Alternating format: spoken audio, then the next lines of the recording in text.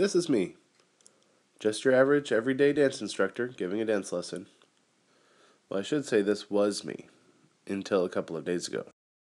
Here's what happened. I was restocking the DVDs, and then this mad scientist came in, and I gave him an awesome dance lesson, and he had me put on this helmet that would give me whatever I wanted. And so I said, I want my dances to be out in the world, and I want to capture them on DVD. The machine took that literally, and all the dances came to life and started running around, wreaking havoc, and then they broke the machine, and then I found out on accident that all these DVD cases somehow trapped the dances inside when they touched the DVD case.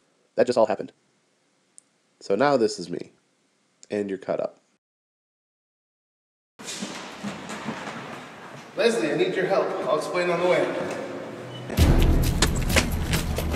Okay, I'll go in the front, you get around back. Okay.